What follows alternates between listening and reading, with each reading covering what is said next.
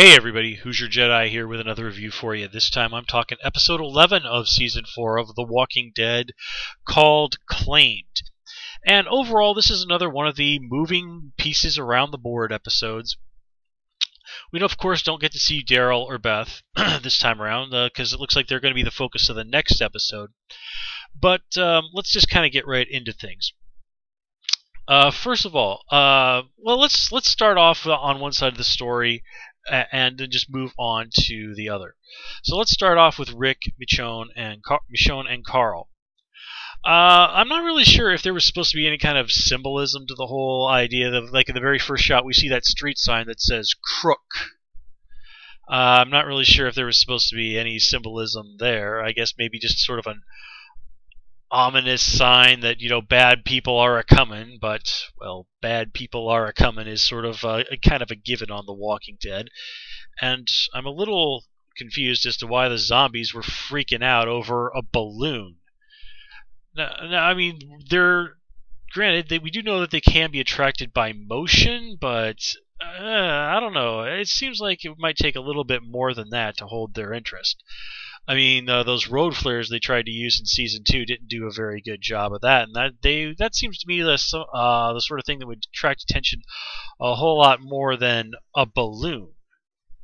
Now, I guess you could take that balloon as sort of a sign of the uh, less than disturbing loss of innocence sort of stuff that they that Michonne and Carl end up finding in that one house. Well, actually, I guess it was really more Michonne just there. Uh, like for example, uh, when she finds that painting of the girl that's all messed up.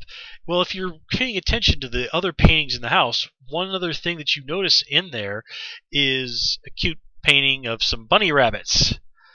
So let's see, we have cute bunnies and we have a messed up girl. Well, gee, who who who does that remind you of? So maybe this is a little way of uh, reminding us, hey, Lizzie's still out there and she's still a really, really messed up kid. But uh, anyway, the whole thing situation there was really just us getting back to the whole dynamic between Carl and Michonne. And they really do have a very nice, fun dynamic. Here we see Michonne opening up to Carl that in a way that she's never opened up to anybody, even her supposedly her best friend in the zombie apocalypse world, Andrea. but the less said about TV Andrea, the better, right? Oh, comic book Andrea, I love you so. Why, why did the TV show have to go and fail me on that part so badly? anyway. Uh, and I definitely do like the Carl Michonne dynamic because it's a light element. It's cheerfulness. It's happiness it's just such an enormous contrast to what we have to deal with here. But of course, nothing can stay too happy very long on Walking Dead, and Michonne finding the body of those those little of those two little girls, I guess it was. Well, maybe I'm reading too much into what we've seen previously, but it always struck me that it's what seemed to me that uh, maybe Michonne's boyfriend had Mercy killed their son, and uh, well, anyway. so basically, this is kind of us getting to see, you know, that Carl Michonne relationship reestablished. And I like how Michonne says to Carl, you know, what she had told him wasn't a secret. But Carl says that he'll keep it to himself anyway. And yeah, you know, this is good. This is this is good for Carl. I mean, points to him for being the good guy there. Uh, and I'm not I'm okay with him using the word secret in that place because well you know he's like what 12 13 years old? It would have been a little strange if he'd said I'll keep your confidence in this you know because that really would have been the better word to use in that situation or at least the more accurate word. But uh, in real life I'm an English teacher so uh, being picky about that sort of things thing is kind of my job, so do forgive if I might have harped on that perhaps unnecessarily. Uh, anyway, moving on over to Rick, and here we get to see um, basically the adventures of how much does it suck to be Rick Grimes. Rick is one of those guys, it just seems like he can never really catch a break for long. And here, Rick just wants to take a friggin' nap. Uh, but, of course, that the good times can't last. But here we do demonstrate that Rick is, even when, you know, just the day before he was basically passed out, Rick is a guy who does not give up and is extremely resourceful. Honestly, with that whole stuff with him st- under the bed, I kind of figured he was going to get his hands on a gun, possibly from the guy who got strangled unconscious, and ended up having to like shoot the guy through the bed, which actually would have been pretty darn awesome. But uh, that didn't happen. And then after he kills the guy in the bathroom, well, it just becomes a question of uh, how long until the guy rises up. And apparently, not very long. Uh, like I've said, it seems that the amount of time it takes for a person to rise up seems to have taken a pretty huge plummet since the series started. Remember, the doctor at the CDC even said that it can sometimes take up to, I think he said something like the average was like about eight hours. It took, you know, Andrea's sister basically the whole night until the next morning to turn, if you remember that. But anyway, uh, now the random uh, the the survivors that uh, come into the house where Rick is staying, uh, they don't really strike me as being anybody who's particularly important to what I think is going to be the upcoming plot. I'm pretty sure they were just another random group of survivors. But what I like about this episode is that we get a lot of very subtle signs that these these are not good dudes before that way, you know, so that we know that if if it comes down to it, and Rick is just gonna like basically go over there like he was at the at, towards the end of that particular scene, just whip around and kill this guy who's just sitting there eating a can of beans or something.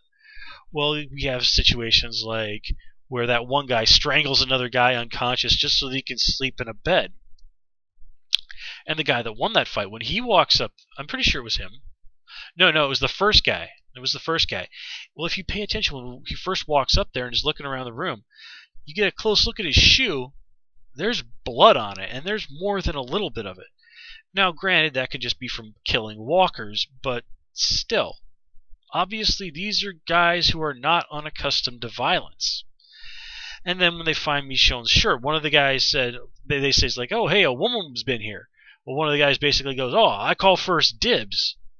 So very much implying that these dudes were like hoping to, that this woman comes back so that they can rape her, just like um, Dave and his chubby friend from Randall's group back in uh, yeah it was season two I guess. So again, um, it's made you know, we're not really beaten over the head with it, but if you're paying attention to what's going on, it's pretty clear that uh, Rick has very good reason not to uh, let these alert these guys to his presence, especially while he's unarmed. Yeah. anyway, uh, let me see here. Ah, yeah. Okay. Well, let's hop over and talk about what's going on with Abraham's group. Uh, first of all, um, one aspect where this episode did disappoint me was, excuse me, delicious rooibos tea, very good stuff, is that we really get only a handful of lines out of Rosita. And I think it's Tara even kind of throws out some line about like that she's in love with Abraham and that's why she's going along with all this, which yeah, that that that right there just screams sloppy writing. I, I really do expect better from a show like The Walking Dead than that. Although Rosita was, of course, you know, Abraham's girlfriend in the comics, so mm, okay, but still, that's really that's really just not good writing. so I really think this episode kind of did Rosita as a character a little bit of a disservice there. Now, it was interesting to see sort of the dynamic between Tara and Abraham, and us getting a little bit of insight into who Abraham is. And I really do like the juxtapose of that conversation that they have towards the end, where Abraham's going like, "Oh yeah, I can tell you're a good person," and and Tara kind of goes to him, "Well, just because you save the want to save the world, should why should I, I should I I should believe that you're a good person?" You know, that, that's a that's a fair point. That is really a fair point. now, let me see here. Um, you, yeah, it's not. It's kind of understandable that they would be very skeptical of this. I mean, Abraham seems to be very sincere, but what he's selling is pretty out there. It's like, oh, yeah, that dude over there with the mullet is a scientist, and if we can get him to Washington D.C., we can save the world. Um, really? And then the whole thing with when when Glenn goes, well, okay, what happened? Glenn go, and Eugene goes, it's classified. Seriously, dude, does this? How in the world does this matter? And I, and I really can't believe Glenn didn't even try and press him on that, even the tiniest little bit. And if that's all Eugene's been saying, and that uh, Abraham has been going along with this, it makes Abraham and Rosita look like a bunch of dumbasses that they didn't say, you know what?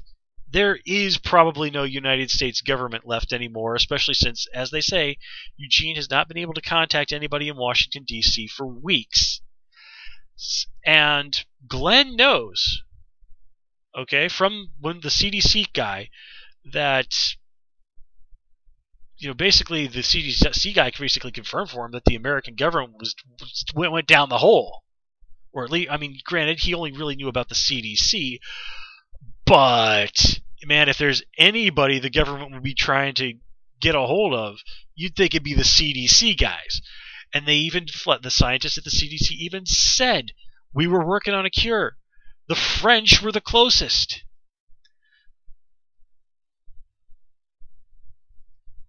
But yeah. But yeah. Anyway. So there are some overall there are some missteps this episode. But overall it's a good episode and we do get to see Glenn uh, uh, sorry, Car- Carl, uh, John, and Rick now also heading towards the sanctuary, so we can finally start getting uh, slowly, slowly, slowly start getting pe- things in a position where people can start coming together again. so overall, maybe not the strongest episode of the season, but still a pretty solid one. Anyway, guys, that's all I have for you this time around. As always, please comment, rate, subscribe, and of course, you can follow me on Twitter at Hoosier Jedi. Till next.